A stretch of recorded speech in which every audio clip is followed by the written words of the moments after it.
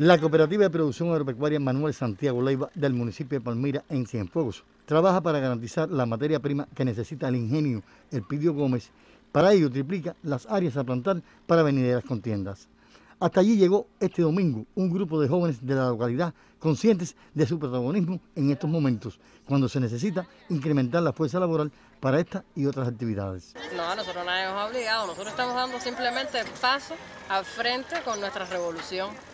Donde nos llamen y nos necesiten, ahí estaremos siempre. Dispuestos, somos el relevo, somos la continuidad de esta revolución, ahí vamos a estar siempre. A nosotros nadie nos obligó, los jóvenes vinimos voluntarios a ayudar al levantamiento de esta revolución para demostrar que somos la primera trinchera que vamos a, a pelear por mantener esta revolución activa a pesar de la situación que está pasando en este momento, pero vamos a seguir demostrando que la juventud tiene un espíritu revolucionario y que seguirá peleando por él. Esto primeramente es convocado por el 26 de julio, trabajo voluntario en salud al Día de la Rebeldía Cubana.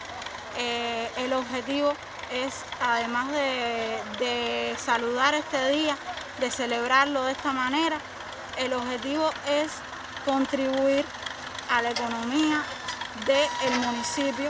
En una mañana productiva, los noveles plantaron casi tres hectáreas de caña, lo cual tiene un alto significado para los directivos de la CPA. Nos ayuda los, jóvenes y, la gente del gobierno del partido, un aporte que nos da la cooperativa en, la parte financiera, eh, más o menos el aporte hoy se ha sembrado dos hectáreas, 2,5 y eso importa a a 2.300 pesos. Al término de la jornada productiva, con la participación de las máximas autoridades políticas de la provincia y el municipio, se reconocieron a los jóvenes con una destacada participación en la batalla contra la COVID y otras tareas económicas de la localidad, para reafirmar su disposición de estar donde la patria lo necesite. Desde Cienfuegos, para el Sistema Informativo de la Televisión Cubana, Primitivo González.